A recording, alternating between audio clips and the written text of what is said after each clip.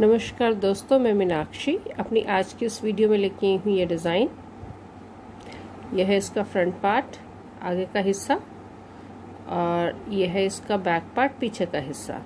ये जो डिज़ाइन है, इस डिज़ाइन के लिए हमें दो के मल्टीपल में फंदों की ज़रूरत होगी। और इसके होंगे चार एच स्टिच, दो दो एच स्टिच दोनों तरफ़। आज का जो डिज़ाइन है, वो हम डालेंगे सोलह फंदों के साथ। सोलह फंदे मतलब चार फंदे एच स्टिच और बारह फंदे होंगे हमारे डिज़ाइन के। तो अभी जो है हम अपना डिज़ाइन शुरू करते हैं।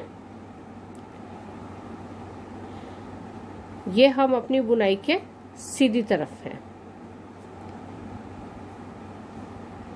पहला फंदा बिना बुने उतारेंगे, ये हमारा एच स्टिच है।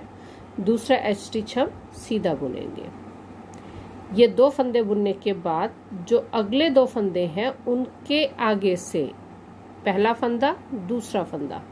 ये जो दूसरे और तीसरे फंदे के बीच में जो गैप है, उसमें सिलाई डाल के हम इस तरह से एक लूप निकालेंगे।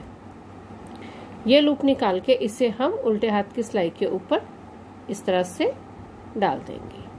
अब ये हो गए हमारे पास तीन फंदे। अब हम ऊन को अपनी तरफ़ करेंगे और उसके बाद ये जो लूप और पहला फंदा, इन दोनों को इकट्ठा इस तरह से उल्टा बुनेंगे। दूसरा फंदा उल्टा, अकेला बुनेंगे। अब फिर उनको पीछे करेंगे। ये दो फंदे जो हैं, इनके आगे से इस तरह से सिलाई डालते हुए, यहाँ से हम इस तरह से लूप निकालेंगे। लूप निकाल के इसको उल्टे हाथ की सिलाई पे डाल देंगे।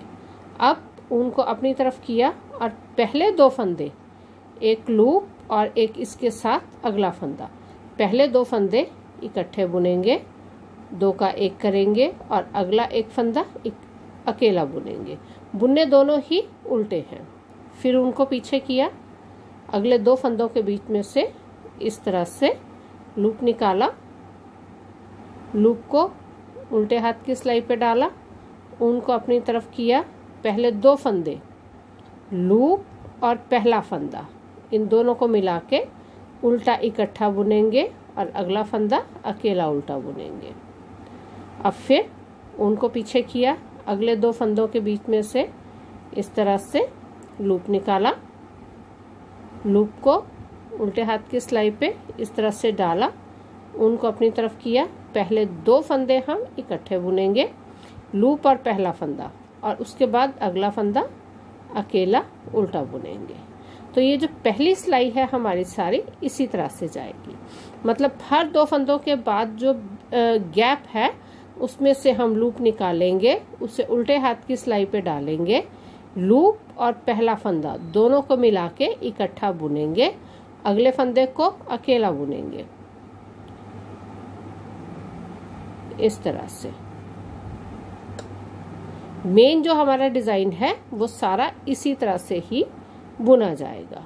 ये जो दो फंदे हैं, दो के आगे से लूप निकालना है। लूप और पहले फंदे को इकट्ठा बुनना है और उसके बाद अगला फंदा अकेला बुनना है। ऊन को पीछे किया। ये है हमारे लास्ट दो एच स्टिच दोनों को सीधा बुना। ये होगी हमारे डिज़ाइन की पहली सिलाई दूसरी सिलाई सारी उल्टी बुनेंगे। पहला एच स्टिच उल्टी तरफ़ से बिना बुने उतारेंगे, उसके बाद पूरी सिलाई हमने उल्टी बुननी है। सारे फंदे हम उल्टे बुनेंगे।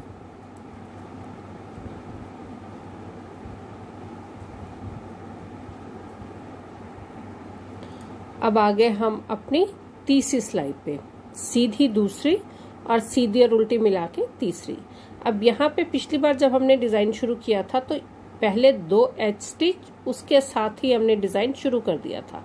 लेकिन जब हमने तीसरी सिलाई डालनी है, उसमें पहला फंदा एच स्टिच बिना बुने उतारेंगे, दूसरा एच स्टिच सीधा बुनेंगे। इसके बाद अगला फंदा जो है, उसको उल्टा बुनेंगे।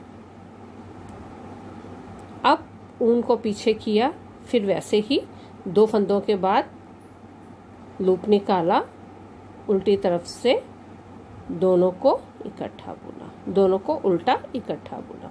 फिर एक फंदा बुना। मतलब जिस तरह से ये जो दो फंदे हैं दो फंदों को जिस तरह से हम डिज़ाइन के लिए बुनते आ रहे हैं उनको उसी तरह से बुनना है। लूप निकालना है लूप को उल्टे हाथ की सिलाई पे डालना है और उसके बाद उस, उन दोनों फंदों को उल्टा इकट्ठा बुनना है। और जो नेक्स्ट फंदा है दो दो में से जो अगला फंदा है उसको अकेले ही उल्टा बुनना है। जो मेन डिज़ाइन दो फंदों का है, वो यही है।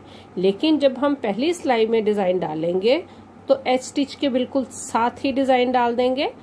और उसके बाद जब हमने तीसरी सिलाई में डिज़ाइन डालना है तो एच स्टिच के साथ एक फंदा उल्टा बुनना है, उसके बाद हम डिज़ाइन डालेंगे। इस तरह से। अब यहाँ पे तीसरी सिलाई में हमने एच स्टिच के साथ हमारा एक फंदा उल्टा था तो यहाँ एंड में भी दो स्टिच है तो उससे पहले एक फंदा उल्टा आएगा। और ये एच स्टिच दोनों ही सीधे बुने जाएँगे, क्योंकि ये सीधी सिलाई है। उल्टी सिलाई में